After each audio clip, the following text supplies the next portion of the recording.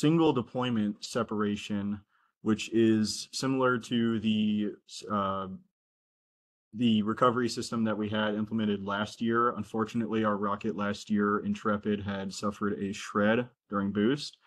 Uh, but we're returning at the with the same recovery method, which is a piston deployment system that is going to separate the rocket um, and then revealing a reefed parachute with basically a custom line cutter system uh, to disreef the parachute into main deployment at a specific main altitude. Um, and then, so breaking down the systems, we have, or the location of the systems in the rocket, we have GPS tracking and a custom avionics flight recorder up in the nose cone. Uh, we have the payload system uh, that is in the nose cone coupler below that. The parachute is going to be in a recovery bay just below that coupler. Uh, then further below that in the aft coupler, we have the piston deployment system pointing upwards into the recovery bay, uh, which is controlled by two redundant RRC3 computers. Um, and then below that is the booster containing the motor with three fins that are a swept clip delta shape. Uh, and the booster is made up of two tubes that are coupled together. Uh, the coupler is a permanent connection using a, lots of epoxy. So, uh, do you have any questions over the general layout of the rocket? No, it looks pretty straightforward to me. Uh, I, I will want to come back and look at your fins and stuff. Um, but let's, you know, go ahead and go. It since yep. you shredded last year. Um, can you give me an idea of what you did different year to prevent that? Uh, so this year we'll go into a little bit more detail about it too with our AV with our aerostructures lead, who is overseeing the or oversaw all the manufacturing of the custom body tubes. Okay. Uh, but main main two differences to kind of keep it brief is a extra layer added on each tube that we wind custom in house um, also looking into specific winding angles. Uh, last year we kept it at exactly 45 degrees for each layer. Um, and then this year we have a kind of variety of those orientations. So uh, I believe it's 35 degrees, two 45s, and then a 70. So we did a little bit more, uh, a lot more analysis into our tube structuring and then also our couplers as well, making ex taking extra precautions into making sure that our couplers fit much more snugly into the tubes. Uh, that is something that we are cautious about from last year is making sure that everything it has a nice tight connection, even expanding upon um, a higher than one body caliber connection on uh, the recovery coupler. In addition, last year we also had a uh, much longer rocket. Uh, so this year we shrank down the overall length of the vehicle um, we experienced some stability problems last year, and we believe that led to uh, contributing to the shred as well. Okay. Yep. Uh, let's see. So uh, with that, on Open Rocket simulation, we're looking at a predicted apogee of about 30,200 feet, uh, reaching a velocity of Mach 1.7 at 23 Gs off the pad. Uh, the O5500 without a better way to put it, is a pretty aggressive burning motor. So we're going to be seeing a lot of velocity right off the rail. Uh, our exit velocity is at 146 feet per second. Uh, here's kind of some more of the technical data there from Open Rocket Sim. Okay. Um, did you do a RAS Aero Sims? Yes, we also have RAS, RAS Aero Sims. Uh, kind of the mentality that we approached with on the high level design of the vehicle this year was primarily using Open Rocket as kind of a building simu or building mm-hmm. software, while RAS Aero has been our primary simulation software. Perfect. That's that's the way to do it. Yep. And then also just to kind of throw out the graph here of our flight path. Um, if this will, oh, here we go, plot, sorry. So just to give the graph here of uh, the altitude, velocity, and acceleration of the rocket. Um, and I'll also pull up the RAS Aero sims as well here in just a minute. Okay, yeah, I'll, I'll be honest with you. I'm more interested in the RAS Aero sims than I am. the Yeah, open I, I agree with you. I mean, I, I, and I agree with you. The Open Rockets is a great, simple CAD program. Yeah, You yeah, know, with subset below box emissions are are fairly decent. mhm, Uh, but once you get into the realm that you're talking about, it kind of you know you really need to be looking at RAS Aero. So yep. I'm glad to that. Okay. Yep. Uh, so once again, layout of the vehicle in RAS Aero. Uh, we just have all the exact same dimensions of the external vehicle here in Mhm. RAS Aero with the nose cone, uh, recovery tube, and the booster. Uh, let's see. Is there anything you want to see in particular, or just go straight into the Yeah, I'm. I'm curious what the difference is in projected altitudes and velocities Uh, uh, uh, yeah. And RAS Aero versus open rockets. Uh, Not much. Aero, yeah. We're seeing possibly slightly higher altitude, but that's going to be heavily dependent on the wind speeds and temperature of that day. Um, True. And on top of that too, I mean, that doesn't exactly account for like tube fasteners, any sort of small just differences on the airframe as well. So that's something we are acknowledging as we go through this. Um, let's see. So yeah, I mean, I'll just go ahead and pull up the simulation here. Um, so yeah, here we have our altitude plot. Um, once again, I mean, it's it's not entirely different from Open Rocket, but it does have some minor details. Um, and then it does also vary too, depending on if you're using like turbulent flow assumption or like maybe modified Bar- or the modified Barrowman equations. Yes, Uh, that it does. so yeah, It'll, altitude- it'll also, also vary depending on what kind of a, um, kind of a paint job you pick too, whether Yeah. you have it, whether it's painted or naked or whatever. So, Yeah. yeah. Uh, this year we're And they we're don't- doing a vinyl wrap. Um, Oh, okay. we'll have that done here in another week or so. Uh, let's see. So, um, I guess we could go into velocity first. Uh, reaching about 2000 feet per second. That's fairly close to what we saw in Open Rocket. So that should be that Mach 1.7 high or high Mach 1.7 Right. uh, here. So I'll get the fuel point values. Yep. So reaching max speed of about 1.74 Mach. Okay. All right. So the, the other question, this is gonna be more for the air, for the aerostructures people is, you know, heavy compression testing and all that sort of stuff. So Yep. this is good. I understand it. Um, you, you developed the way I do. Yep. So from that perspective, uh, I think we're, we're good. Okay. Um, Yeah. as I say, we'll be interested, understanding what's changed and, and how we think we can make it through this time. So, Yeah. Okay. So what we'll, what, kind of how we're gonna, how we're planning on doing this is just having each of the team leads that were just introduced. They're gonna give kind of a quick description of uh, their physical system that they have here, uh, here on camera. Uh, we do have the airframe sitting behind us, so we have a cell phone that we're going to use to just kind of walk around and do do a walk around of the vehicle with that. Uh, Okay. so we'll start off with aerostructures with Milena here, um, and we'll just let her kind of do a quick run through of all the external components of the vehicle. okay. So. Okay, we can do Yeah.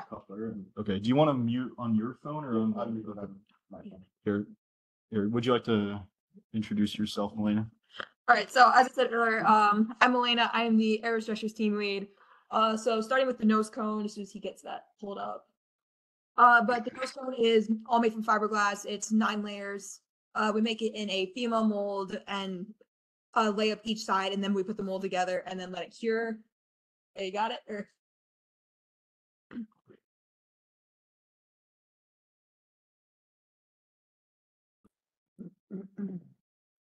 Okay. Yeah, there, there's the nose cone. Uh, we're still working on post processing it, but it's oh, getting close to done. Uh, moving down, uh, then we have the payload coupler, which is the forward coupler. Um, all of our couplers are eight layers of carbon fiber. Uh, these are also made in a female mold. Uh, that's put together, and then we lay up inside the mold. Um, and then moving to the tubes. Uh, we have the recovery tube. Uh, all of our tubes are made in house. Uh, that we filament wind. So the pattern we use is a hoop wind on our base, and then it's a 35, two 45s, and a 70 on top just to give us a nice finish. Uh, so that's how we make the recovery tube and the booster tube. Uh, those were both made on our X winder that we do have in house. Um, and then the booster tube is made from two separate tubes that we join together with an internal coupler and all of the epoxy. So that joint is permanently there. And then the last part is the fins. Um, these are made from a fiberglass uh, core, uh, sandwich panels, two layers of carbon fiber on each side. And then we attach them to the rocket with JB Weld fillets. And then over the top of that, we do a tip to tip. It's three layers of carbon fiber, um, alternating layers of plain weave, and then a biaxial weave layer in the middle. And then we finish the fins with aluminum fin edging. That's kind of an Okay. overview of these systems. Okay, do you, have you compression tested these tubes? Yeah, we did a lot of testing at the beginning of this year. Uh, we did, tested different wind angles and stuff. Uh, we maxed out the machine in our lab that we have access to. Uh, the, the tubes either never broke or they just delaminated at the top when they hit at least uh 30,000 kilo no 30 kilonewtons and some of them just completely maxed out the machine Okay, and all right, uh, he- he's got go some ahead. of the We have some examples Yeah. of those Instron tested tubes right here. Yeah, so yeah, this is one of our tubes. Um, we tested this one and it never broke. We maxed out the machine at like 40 kilonewtons. And then this one, uh, I don't know how you can see it, but this one just delammed at about Yeah. yeah, could you, could you do me a favor and close out the simulation so I can see? Yeah. Thank you for Yeah, pointing that Get, out. get, get, get back to full screen. There we go. There we go, that's better. yeah. So uh, our tube, a lot of our tubes also look like the delam. Uh, these happened about 30 kilonewtons, and the tubes themselves actually never broke. They, the tops just delaminated and just kind of squished down, and that's the worst damage we had to our tubes. Okay, um, how thick are tubes? Um, it's five layers thick. Um, I think they're the thickness is like They're about seventy to eighty now, yeah. so seventy to eighty thousandths. Okay, and your couplers? And the couplers are um Uh, they should be about the same. yeah, because the couplers are also uh eight layers, so Okay. And can you cycle, okay, um. So this thing, okay, so what's the length of the, what's the length of the couplers? um one of them is uh Sixteen, so the recovery coupler is sixteen and the payload coupler. So yeah, the recovery coupler in the center of the rocket, that is sixteen inches long. And the payload coupler up towards the nose cone above the recovery tube, that is uh fourteen inches long with a four inch switch band on it. So the- it's uh the payload coupler has six. one, excuse me? So uh, your switch bands are four inches? Uh, on the, sorry, on the recovery coupler, uh, below the recovery tube, the switch band on that is three inches, so we have six and a half inches of, uh, kind of jointing material there. Okay, So- Um, you have six and a half inches that's going inside tube. Yep, that's correct. Okay, all right, okay. Yep, so it's, it's above a caliber. I, I believe it's like one point two five, it's like one and a quarter calibers of length. Okay, all right. Um. Okay, how? Can you tell me how these are gonna be mated together? That is, where your shear pins are, where hard points are? Um, for coupling tubes together?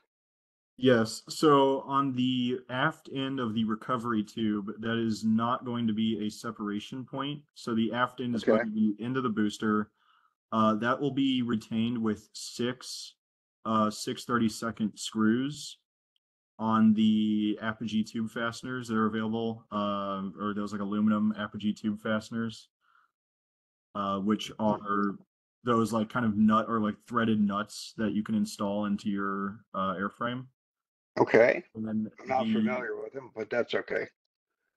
And then the um, forward connection, which is the separation point for deployment, is going to be retained with three 632nd nylon shear pins. Uh, I believe off the top of my head that equates to about like 350 maximum pounds of force required to break all three of those connections. Okay, um, have you ground, have you ground tested yet? Uh, so we have not ground tested this vehicle in particular. However, the piston system itself that separates the vehicle, uh, that has flown on a separate five-inch test vehicle that we have made over the year. Um, so that is that is flown four separate times uh, this year, and as well as last year too. Um, a slightly modified version of it that we had flown last year flew three times. Um, so we we've both ground tested and flight tested the system just on a separate vehicle in a very in like the exact same configuration. Do you plan on testing the current, the, the contest vehicle if you go to the Yes, contest? we we plan on testing it hopefully this week or possibly this weekend. Okay, all right. Um, can we see the rocket again? That's Yeah. disappeared on me.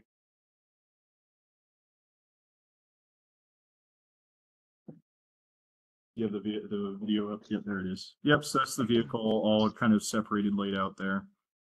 Yeah, it's perfect. Uh, can I see that nose cone again? Okay. Um. All right. That's hard to tell from here, but that's okay. All right. Yeah, and the Okay. nose cone itself has a like s- um it's a seven inch shoulder on it to uh that has room to like combine or um join with the forward coupler there. Okay. All right. Well, that's what the threaded rod sticking out is all. Uh so the threaded rod there is for the mounting point of our custom avionics flight recording system. So they're going to be taking data from the flight, uh, hopefully to use it for future control systems. Uh, so they're currently working on developing a controller. Okay. All right. Um, let's go down a little bit on the rocket. Um, yeah. Okay. All right. So you got aluminum bulk plates, bulkheads. Yes, every connection, every coupler connection has uh, aluminum bulk plates. The forward coupler has two three eighths th- in, inch thick bulk plates made of uh, custom aluminum or like aluminum that we machined in house. Okay. The piston has its own bulkheads for the recovery coupler. They're built into the system, so those are acting as the bulk plates there on that coupler. Okay. So uh, slow down, slow down. Yeah, you want to just kind of slow down as you're just kind of like a slow pan as you're going. Yeah, he's fine. Just let him, let him sit right where he's at for right now. Okay, so that's closed eye bolts. That's good. All right. Yep. Um, while we're here, describe how this thing's going to work for me. And, For I- and, and if and, and if if there's somebody else that needs to do it, that's fine.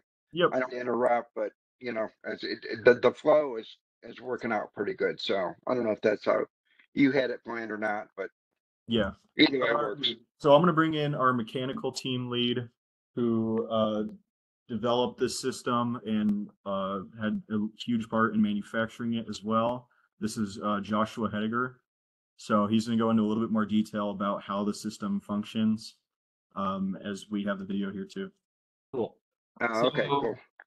The system has two charges, a primary and redundant charge. It is attached, so the charges are created like this. It has a aluminum cap with a rubber gasket to hold pressure, and then it the is right here, and then it, it screws in with half inch 20 threads with Teflon tape to ensure a tight seal.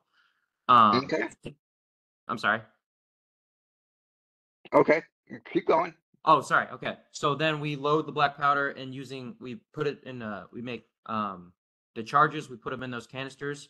Once those can at um whenever we want drogue to deploy, the first charge will go off and then I think it's plus three, the redundant charge will go off. These charges are separated and they have two separate RRC3s um, that deploy them with two separate power sources so that the there's the redundancy there. Okay, Once those charges fire, the shaft will push up against the um, top cap, and there's an O-ring in there to keep that sealed. So there's a lot of seal. There's three O-rings total in there. There's one on the shaft, there's one on the top, and one on the bottom where the uh, canister goes into those two, the the center and the top cap bulkhead to hold that pressure in, and that has been hydrostatic tested to over 1400 psi to hold that before the the failing point right now or the failing point was those rubber gaskets. But that was due to their poor design and manufacture. We've since improved that. Um but once yeah once the shaft goes up it will push. There is an eye bolt and a piston head on the shaft. That will push against an internal switch band and what will that do? Will push against the internal switch band it will shear the three shear pins or whatever and separate that rocket at that point hey, um. ha- ha- Have you mounted this in your current system? The one you're taking to the contest? Have Yeah. you, you, have you tested it in the current system? Um, that you're gonna be, only- that you're gonna take to the contest. I guess, I guess, you know, it's great, and I like what I see, but my, my first question is, you know, is the piston gonna get stuck? uh, that's How, something that tol- we've- yeah, wha- how- your, your tolerances on your homemade tubes may not necessarily be the same tolerances that are on a manufactured tube. And you, you see what I'm saying? You see where I'm headed? Yeah, and we actually on the flight vehicle that we tested this system on um, over the course of the past semester, that was made in the recovery section and coupler connection. So the same connection that is interfacing on the cup rocket, that those are made with the same manufacturing methods um, in-house, just like the cup rocket. So those are custom made too. That's a custom made recovery tube and a custom made coupler for this piston system. Uh, that was flown four times in this semester, in just this semester alone. Um, successfully separated but yeah, uh, we are planning on testing the system in this vehicle. Hopefully this weekend, we're just waiting for approval on firing the system. Um, and having the vehicle ready to go for that. So hopefully with it by tomorrow or Sunday, uh, we're gonna be doing a static test fire of that. Okay, all right, yeah, please, please do that because, you know, pistons can get jammed, pistons, you know, all that kind of good stuff goes on, so.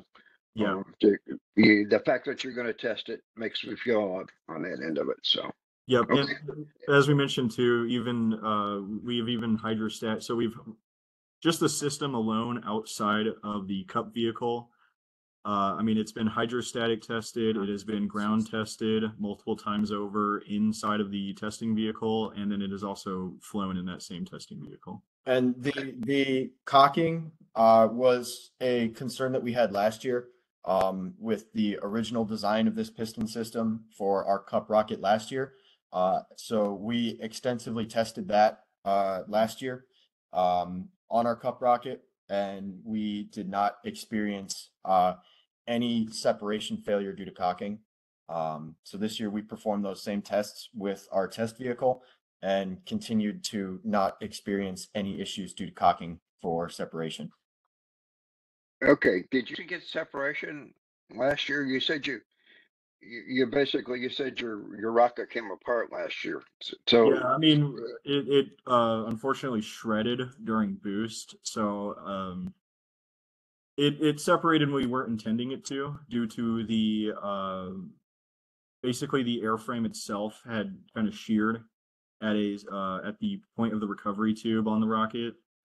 Um, watching, kind of analyzing the, the results of the launch from last year, we noticed that the rocket had a concerning amount of basically bending happening or like kind of a wiggling effect as it went through flight. Um, and it just kind of got to a point where you basically had a rocket that was shaped more like a, a C or a banana as it was flying in the air. and at that point, it just completely just snapped in half. Okay, okay, that, that, and I've been there too, so I know, I know the feeling. All right, okay, um. Okay, now let's do, uh, let's talk about the electronics bay then. The- the- or Uh, so you- for the recovery system, is that Yes, what you're referring to? Uh, so yeah, we're, we're- for the recovery system, do you want to get your camera out, even though we don't have it on there? I'll just tell you where it's at. Um, so that's gonna be mounted directly below the piston on the threaded rods that are connected to that system. So if you want to just point that out with your hands, Mitch, just where that system is going, we have a fiberglass sled that we'll be mounting right there. Uh, and that's gonna be mounted with two R- of these RRC three computers uh, from Okay. Uh, each on their own redundant nine volt power supply, uh, and then powered on with two, uh, independent key switches. okay, but you don't, you can't show me that, right? You don't, you have not completed that yet? Uh, we have everything except for the fiberglass component of the sled. Uh, so we have two aluminum mounting plates that are finished. Uh, they're sitting in this building. Do you have those with you? Yeah. Uh, so we have the mounting plates. We just don't have the two fiberglass sleds. Uh, we have the stock here. It's just a matter of getting the two squares cut out and uh, hopefully that is going to be completed either today or tomorrow. Okay, how are you gonna secure your battery? The batteries are going to be secured with two of the nine volt holders. Uh, we have, do you have the nine volt holders out by chance, Luke? Uh, I have a board with them on it, or like a mount. Yeah, do you want to get that? Yeah. Sorry. Oh, here we go. So, yeah, we have two of these nine volt holders, uh, that we've heavily utilized on a majority of our vehicles. Uh, using these plus lots of zip ties and tape to secure the nine volts in place. Uh, we have yet to have ever experienced a failure with our nine volts, uh, fortunately, but yeah, at the moment, that's how we've been retaining our nine volts. Okay, that's fine. How, how are you, how are your zip ties going to be? Can you just, Yeah, usually there is a hole placed on either side or multiple holes placed on either side of the sled where the zip ties slide through and around the entire holder, mounting them directly to the sled. Um, and then, the- yeah, this is one of those aluminum mounting plates that we have here that just mount directly to the threaded rod. And there's gonna be two screw holes there on either side to hold that sled in place like that. You wanna show the zip Yeah. ties, the zip ties around the battery. Here we've got an example of a sled Okay. that was three D printed for our test rocket. Um, this one is three D printing is acceptable for this because the test rocket uh, flew on a lot smaller motor. Um, so as you can, if you can kind of see, these zip ties go all the way through the three D print. Um, they're just drilled holes through. Um, Mhm. that allow us to run the zip ties through. Okay. Um. Bring, bring back. Um. Where's your RRC three? What wires, uh, is that the battery wires that are going in? Uh, yeah, top. yes. Hold on. This is this is not going to be flying on our cup know- rocket. This is, I this know is just that. an example of I the. know that. Pull on the wires for me. Okay. I'm sorry. But Yeah. y- I can guarantee when you go to New Mexico, Oh yeah, without, you, you'll tear your electronics bay apart and they were pulling on wires. yep, yep. Okay, we, so- we love doing our tug tests. Yep, good. Okay, perfect. Very good. And for switches, are you still, uh, if I remember right, you were gonna be using the magnetic switches or have you switched around or? Uh, so for the magnetic switches, we're relying on those for the custom avionics flight recorders and the payload device as well. For the actual recovery electronics, we're going with key switches to keep it as much of a mechanical system as possible and prevent any, you know, weird failures from a magnetic switch. Uh, we used magnetic switches on our recovery devices last year and we did have some issues with being able to turn them on and it was kind of a yeah, it was kind of a headache with that, but We had an issue where the the magnetic switches were since you have to mount them so close to the carbon fiber tubes. Um, as we were integrating the couplers, um, some of that carbon fiber dust uh, scraped Uh-huh. off the couplers onto the magnetic switches and activated those. Um, Ouch. solved that issue using some electrical tape over it to prevent that carbon fiber dust.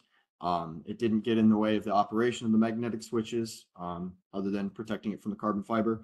Um, we're using the magnetic switches for the, the, as Kyle said, the custom avionics in the, uh, in the nose cone. Um, we like the magnetic switches for that because we're able to mount the magnet to the end of a dowel um, and smack the smack the magnet target with the the the activation magnet, um, which reduces our dependency on having ladders at the uh, at the rail. Okay, that's great. Um, okay. Let's see here. Okay, let's talk about recovery. Okay. Um, and I guess you're gonna do, uh, well, we- yeah, let, let's talk about how you're gonna do your, your, your recovery. Yep. So just to give a quick summary, as Cooper is going to take over here, uh, he's our recovery lead this year. Uh, we are doing a kind of custom chute release, custom like line cutter sort of method for the the main deployment of the rocket. Um, nominally, whenever the piston fires at apogee, releasing the chute from the recovery bay, it'll be in a uh, kind of was it drogue or like reefed configuration Yeah, to be reefed. a, a drogue effect. So here's Cooper here. He's our recovery lead, and he's gonna go into a little more detail about that. Okay, All right. What? Okay.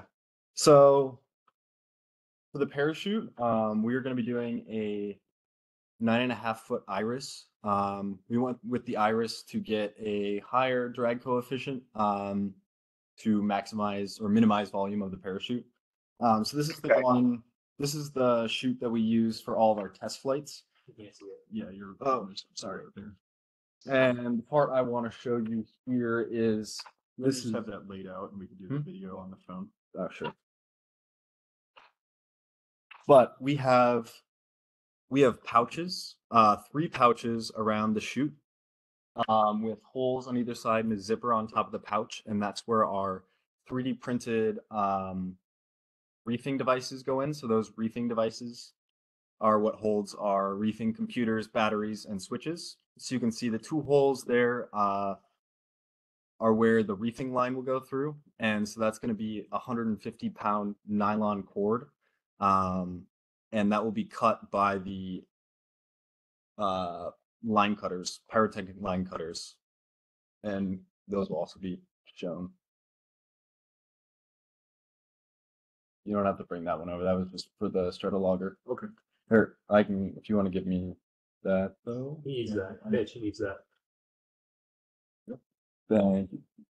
So we just got our, I've been printing in PLA, but for the heat in the desert, I'm going to use PETG. So we just got that in. So I don't have the final printed boxes yet, but what those will look like is, I, I was showing it, but that will be um, the computers and the batteries and the switch will all be screwed in there. Um, and then the lid will go on top to secure everything so the line cutter cannot come out by any way because um, the lid will hold a tight fit for that.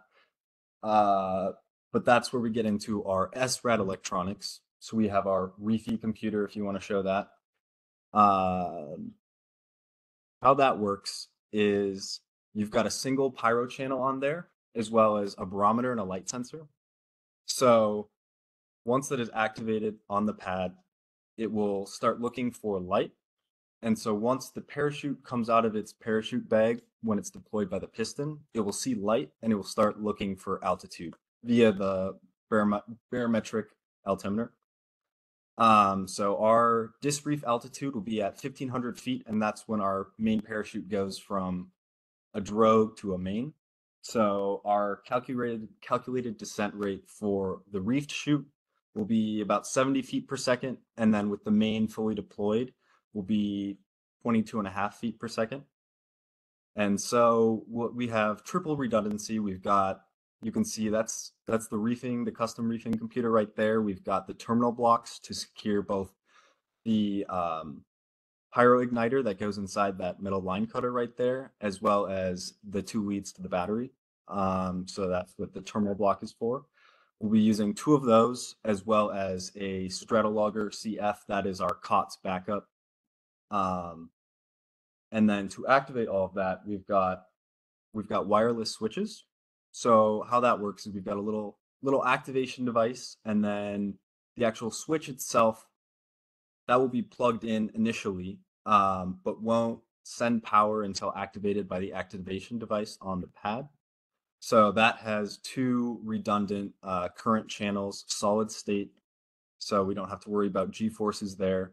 We'll press the button to activate that and it will turn the computers on, but the computers will also be able to send a signal back and say, hey, we've got power, we've got continuity, we're all, our sensors are initialized, good to go, just so we get that data back on pad before we launch.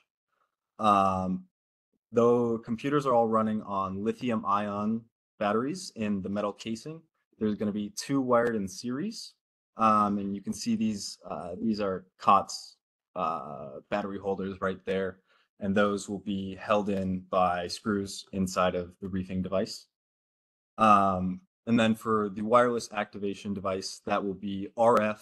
It will be low power. It's 915 megahertz. Um, it is an encrypted signal as well as it's looking for a specific password string even on that encrypted signal just to make sure nothing else interferes with that at all.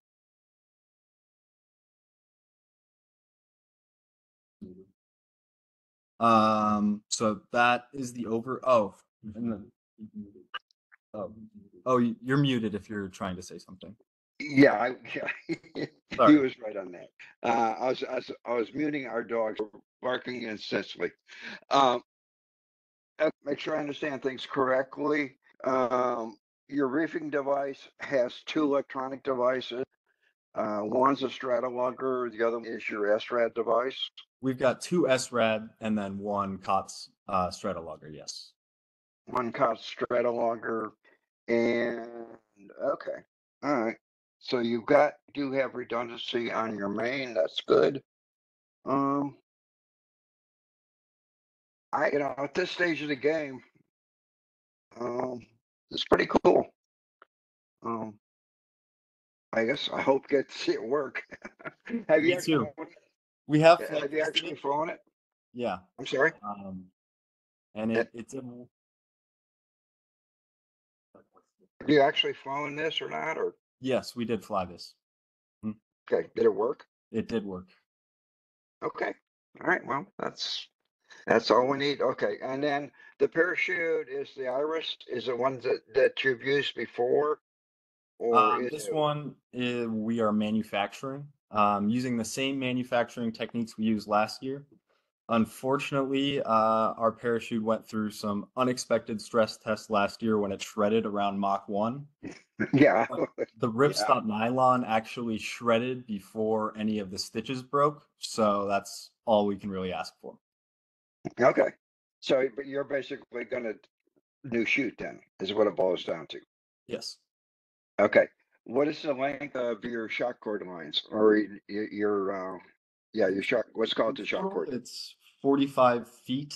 Um, that's going to be tubular nylon, one inch wide, 4,000 pounds strength. Um, as well as on there, we've got quick links all above 1,000 pound strength with a 5,000 pound swivel right there.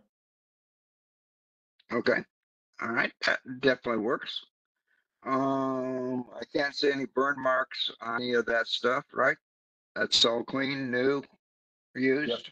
And even even so, with our piston, our shock shock cord's not being anywhere near any heat or anything like that. So Yeah, except when that nose cone comes off and the payload goes flying with it, you've got all that weight, right? So. Yeah. It, it'll still be stretched. It'll, it'll still be stretched. Oh, stretched. yes, it'll most definitely be stressed. Um, just hopefully not by fire. But actually, again, this is the same shock cord we used last year when we did shred. The motor was still burning, um, and the shock cord went directly into the line of the motor burning and was still fine. Obviously, we're not using that same shock It's, cord, it's the same brand. but it's same brand. using the same stuff, same material. Same brand. Gotcha. Fresh gotcha, shock cord gotcha. that's never flown before, but same brand that was stress tested last year. Yes. Got it, got it. Okay, I assume you're gonna do some sort of, um, Z fold or something like that with the, with the shock cord? Yes. uh, Yep. With tape or whatever, okay. Yep. All right. With our our blue tape. That's the method we've used for all of our test flights, and it's worked well. Yeah, Yeah. whatever, you know, I, uh, rubber bands, blue tape, masking tape, you, know, it runs the gamut. Just don't do something that would prevent it from like good old fashioned duct tape or something like that. So, okay, um, that sounds good to me. Um, uh, can we go back? Re- re- recovery's good as long as everything works and fingers crossed. I hope it does. Um, the, can we go back and talk about the rail buttons or however you're going to ish with the rail? Yep. Um, and also real quick, uh, j- just to make a quick note, our um, flyer of record here, uh, he does have to be leaving soon. Um, is there anything that you'd like to discuss with him or um, that you need from him? Nope. Okay. Just wanted to make Uh, sure. he, he- he he just needs to bring us, you, all you guys need to bring your Tripoli cards and all that good stuff. So Okay. Yeah. Yep, that sounds good. I, I mean, I would prefer a level three that had probably a little more experience. But Yeah. there's not much I can do about that. So, Yeah. Yeah. Okay. Well, um, getting back to your ahead. question about the rail buttons. Um, so as of right now, uh, do you have the video on there, Mitch?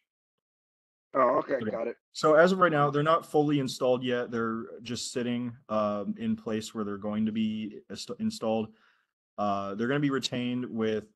Uh, I mean, I, I, you're probably familiar with the fashion of rail button like that, but yeah, Mhm. quarter twenty screw or like quarter twenty, yeah, quarter twenty countersunk screw into the airframe, and then it's going to be retained with a T nut on each of those connections. Uh, the Cool. T itself will be epoxied in um, and permanently positioned in place. Okay, And then we'll likely be putting like Loctite or something once we're actually, especially on the aft rail button, we'll likely use some Loctite or something to make sure nothing's coming out. that, that's a good, good thing to do. Can we go back to the, the aft end, the motor end, and we got a thrust plate? Uh, yes, we do. So that's sitting on the ground there. Uh, it's retained with, uh, let's see, how many screws is that thrust plate? Uh, air, uh, air. So we have our propulsion guy. Uh, he's overseeing the motor retainment in the rocket as well as uh, the motor. Okay. So he oversaw the motor selection. Um, and he has a little bit to say about that, and then just kind of like talk about the yeah retainment or the thrust plate too. So this is Ashton Baker. He's our propulsion lead. Go for it. Yeah, so uh, this year, uh, at the start of our semester, uh, we had lost our main uh, like propulsion advisor. Uh, so we weren't totally sure if we were going to be able to make SRAD. Unfortunately, we were not, but we were still kind of designing around that if we had the capabilities. But we had the backfall of the O5500 uh, as like our main like COTS motor. We had looked at some other options, but really at the time, from what was available, what we could buy, the O5500X was really the best option. So in terms of retention, we've got a 98 millimeter uh, inner tube to hold it. It's fiberglass. Uh, you can see it sticking out right at the end there. And then there are two 6061 aluminum centering rings in there to hold it in position. Those are epoxied in. We've roughed the surfaces inside there to make sure that it holds. And then in terms of the actual thrust plate at the uh, the end there, it has uh, a like 2.47 uh, factor of safety for the actual physical system, and then the factor of safety for the bolts themselves. If it does end up riding on those bolts, uh, it is like unreasonably large. It's like 2,000 pounds of shear per uh, 832 bolt, and there are six of those 832 bolts. The O5500 uh, X itself has a max thrust of like 1,700 pounds, so we should not exceed the bolt strength there. Okay, so that just fits into the rear. And you're, you're gonna bolt that in place. Yep. And then you're gonna use the aero pack to actually retain the motor. Yes. Yep. Okay. All right. Nice. And just to clarify too, uh, the pre- preliminary design of that thrust plate, uh, it does have a notch there or kind of like a flattened ledge where it's actually transmitting the forces through the airframe. So it's not being transferred through the, the bolts, at least intentionally. That's just there as a redundancy and to keep the aero pack in place. Yep, gotcha. I figured that's when he put it, that's what it looked like to me. So cool. Okay. What else is left? It does come body tubes. We've Uh, we talked do about have the, well, we do also have our payload as well, um, to quickly present, and then, um, just the custom avionics and GPS tracking and the nose cone, as far as I'm aware. And uh, of course, if there's anything you want to see again or anything else you have questions about, we can go over that as well. Yeah, I, I'll be honest with you. I'm really not interested in the payload. I'm only interested in what the safety implications of the payload are. In Okay. other words, is it not going to move? Yeah. Um, that kind of stuff. Because Uh, the, payload contest is, is entirely separate. Um, believe it or not. So, so if you can, it, uh, show me the payload, so I'll make sure it's not fall apart. And then show how me, show me how it's mounted within the airframe Yeah, so that I I have a very comfortable feeling it's not going to go flying somewhere. okay. Um, and, is the payload to be deployed or is it internal? It's internal. It is staying in its Perfect. place. Yep, Okay, okay. yep. Because I Uh, was going to say between reef cutters and everything else you got going Yeah. on, and you- you're going to tell me you're going to do a deployable payload. I'm going to go. "Mm." yeah, Yeah. that's a full plate. Okay, so they're getting that out now uh, to show you with the other camera. Uh, this is Ethan here, uh, just to kind of give a quick overview. Like I said, it's a static payload. Uh, they have their experiment contained within, and then they also do have uh, telemetry broadcasting. So there's a topic that he will be going over as well. Um, Okay. So here's Ethan, our payload lead. Okay. So because we have the payload just on the camera now, the airframe i- or the structure of it is pretty simple. The corners are um 3 16th inch steel L brackets, which are bolted together with um I believe it's 15 millimeter aluminum extrusions. And that comprises the main frame. Uh, and then the mount for like the actual experiment are 3D printed in PETG.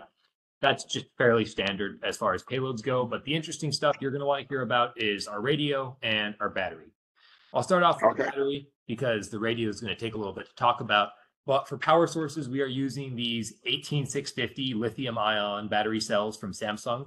And our battery configuration is six total cells with three basically sets of them in series of two.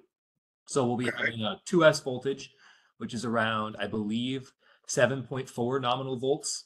And mm-hmm. then our battery, each of these cells has 3.5 amp hours of charge in it. And we have six of them. So it totals to about 21 amp hours or 21,000 milliamp hours to be able to make sure that our payload will not be running out of power during flight and Okay. coming back down.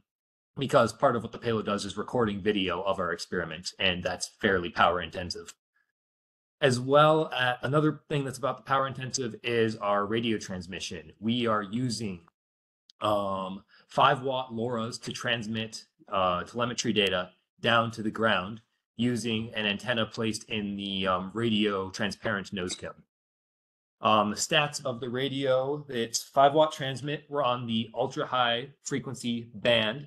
Our connections are addressed and encrypted to ensure that we're not interfering with anyone else's radio stuff. And the radio has a max like bandwidth of 62.5 kilobytes a second. We're coming nowhere near that.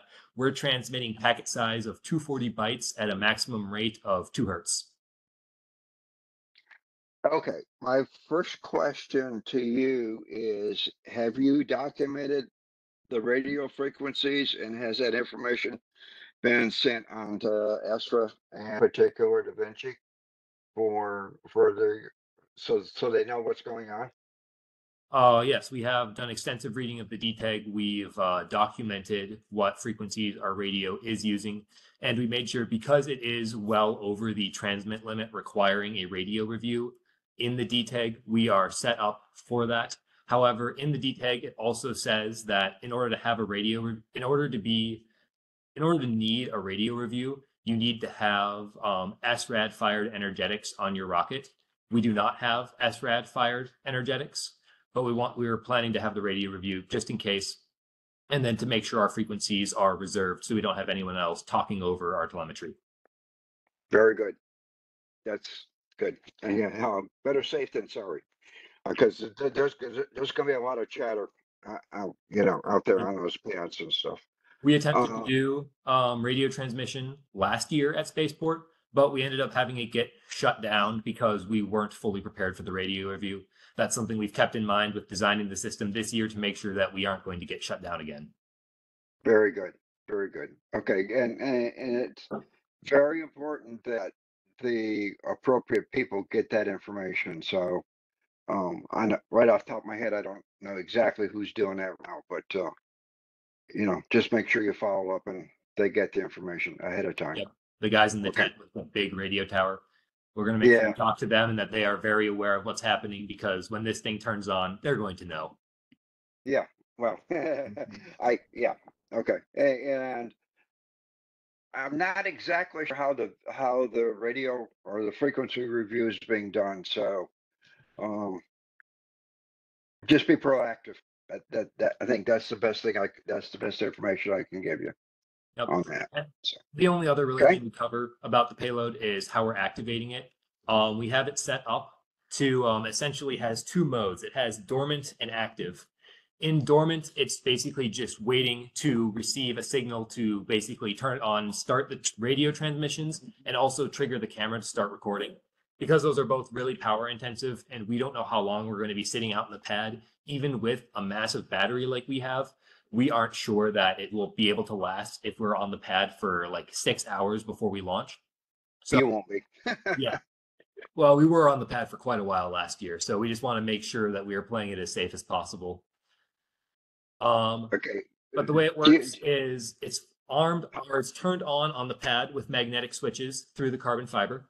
And then it waits for receiving a radio signal telling it, hey, we're good. We're about to launch. This is when you start recording and start transmitting. And then it will start talking back to us. We'll see that. It will start recording the video to the SD card. And yeah, that's basically the how the power systems of the payload work. okay, are you going to basically tell the payload to power up and do its thing from the spectator area? Or are you going to, before you leave the physical pads? What was that? Okay, So yes, it, it will be, it will be, uh, we'll send a radio signal from the spectator area, um, telling the payload to begin recording with the camera that's integrated in it. have you tested that distance out? Um, yes, we have. We've we've done multiple flight tests of actually less powerful radio transmitters. We did our primary flight test with two watt or two watt radio transmitters, and we had back and forth communication all the way up to I believe twelve thousand feet, and that was the highest we had tested um, in the air. We're doing five watt LoRa's, so even more broadcast power, and it'll be able to receive the signal. We are very confident of that. And if it doesn't receive the signal for some reason, then all that happens is the payload sits there in that dormant state and we just don't get any video footage. Okay, um. When, when you go through the. The radio review, the RF review, point that out. That you, you essentially you're activating your payload from the spectator area, which is. At least thousand, maybe two thousand feet away, the, the pads and stuff. Are being rearranged, so. You guys need to double check, um. Probably, maybe, maybe the best thing to do is post on HeroX a question saying, hey, we're getting ready to do this. Should we anticipate any problems? Okay. I mean, you know, I, I would hate, I would hate for you to wind up not being able to do it. And right now, I, my guts, you gotta put with a coin chance. Yeah. We also, I forgot to mention this, we do have a redundant activation mechanism. There is an accelerometer on the um, PCB that's controlling the payload that if it doesn't, if it's sitting in the dormant state, it's been turned on with the magnetic switches on the pad and it doesn't, it hasn't received a radio signal yet, but it's detected, um, is it detected essentially the G forces of a launch, it will turn on the camera then. Just we won't be getting, the nature of our experiment is that we want to be able to have that video footage from right before and as the motor ignites, as it starts going up, because it's G-force dependent. If, Okay. if for some reason the radio doesn't work, either whether we're not allowed to or it just doesn't receive the signal, we'll just miss out on that first initial impulse, but we'll get the rest of the flight. Okay, so I guess the next obvious question is what happens? You've got your payload sitting there, it's waiting, and we come up and say, take the rocket down because the wind is too high. We're not going to be flying for the rest of the day. Can you go through takedown procedure for me? Takedown procedure, it'll simply be waving the magnet in front of the magnet switch again. That will cut off the complete power because that's the defining power source is essentially there's the battery, there's the magnet switch, then there's the payload. And all the radio switch Okay. and the accelerometer does is tell it to start recording. The magnet switch is like the master switch, so to speak. So we turn that off, the entire thing powers down. Okay, cool. All right, good. Okay. Uh, good luck. it's you. you, know my, my I have two concerns, and and and basically just just follow up with the appropriate people uh, within ESRA and Vinci to make sure they understand what you're doing with your radios because your five watts is is pretty hefty, and uh, I I would not want us to have to tell you you can't do it. Um, you know, uh, when you get there, that that's the last thing I want to happen. Okay.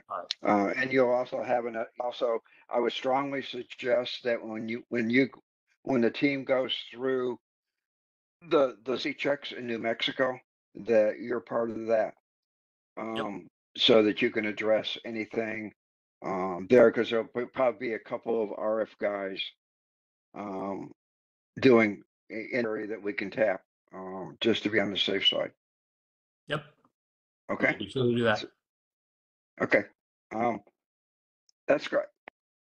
I like, I like everything I've seen so far. I like. Okay, I, I don't really have any major problems. Um, it's kind of complex, but that's normal.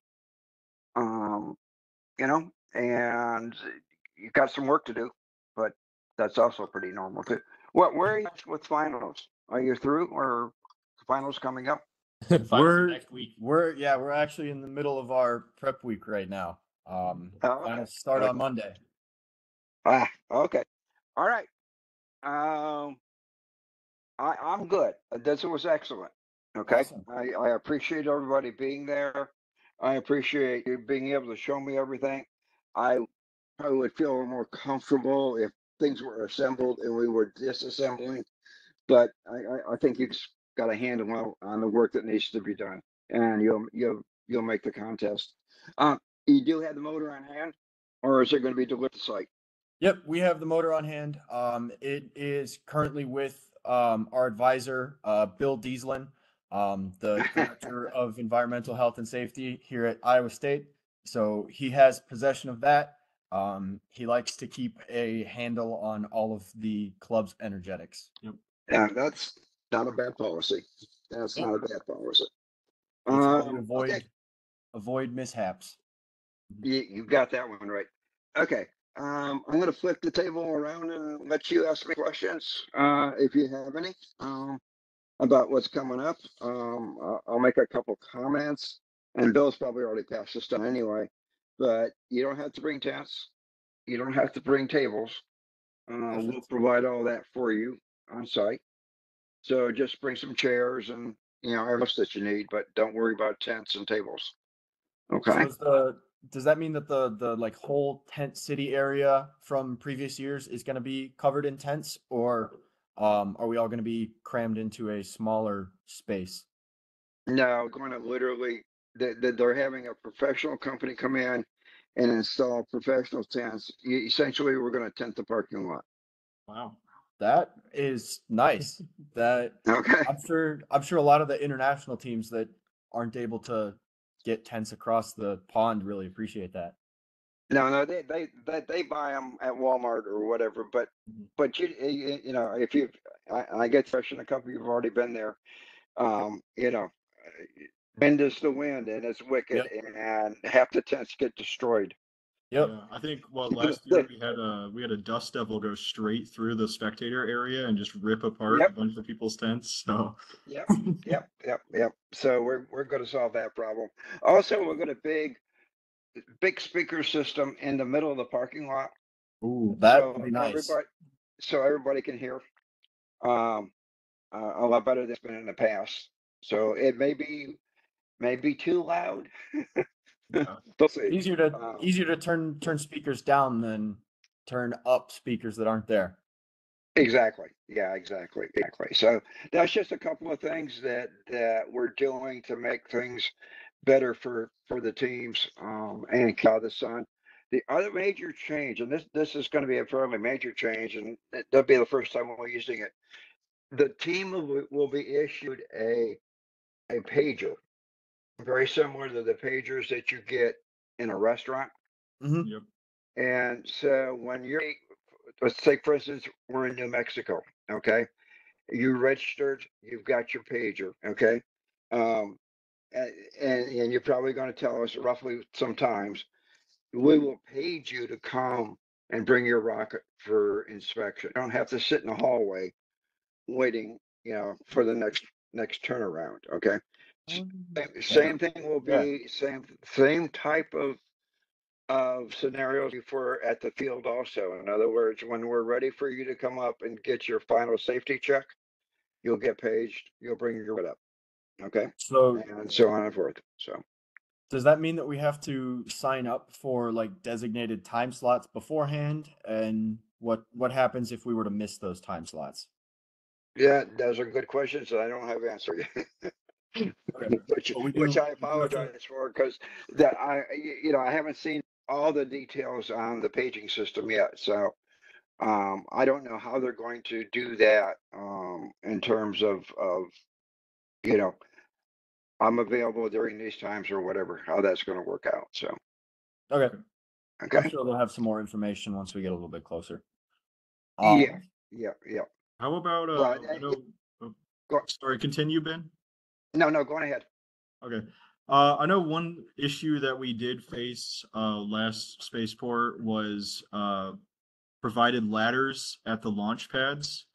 Um, I believe I, if I'm remembering correctly, I think there was only one ladder provided at the launch pad and it had been moved at one point to a different launch pad. there was one 13 foot ladder. Oh, because okay. we needed be because our rocket was so tall last year we needed a 13 foot ladder um and it Mm, was one at the uh uh c pads um the and that pads. yeah that uh that 13 foot ladder ended up getting moved over to one of the hybrid pads and we ran into some problems with that um so we shouldn't I mean, we run into have, problems with eight foot ladders Well, Okay, I, I, what I would do is, eh, and, and don't shoot me, but I posted a thing on HeroX yep that says basically what ladders are gonna be available. Um, you know, uh, that's the best I can tell you right now, because I honestly don't know how many. Um, you know, we've increased the number of solids pads, okay. so, you know. Okay, so are there The going to be, um, are there going to be multiple solid pads of like at the launch then, or is it still one just grouped up solids pad? It's going to be, eh, there's gonna be three groups of ten each or something like that. Three Okay, tanks. okay, Uh, I've heard, I've heard numbers like thirty pads, something like that. So wow, That, that, that may be, that, that, that may be high. And then there would be the hybrids and then there'll be the multi-age pads too. yeah, so. Um, yeah, we're looking at, right now, we're looking at hundred and thirty-five. Um, cont- you know, teams again, um, the. My guess is somewhere around ten of those will probably drop out, so about the same time as, about the same size as last year. Maybe, maybe a little bit bigger. yeah and last year was a pretty good turnout as well Yeah, Mhm. yeah, and we're, we're gonna be opening up earlier.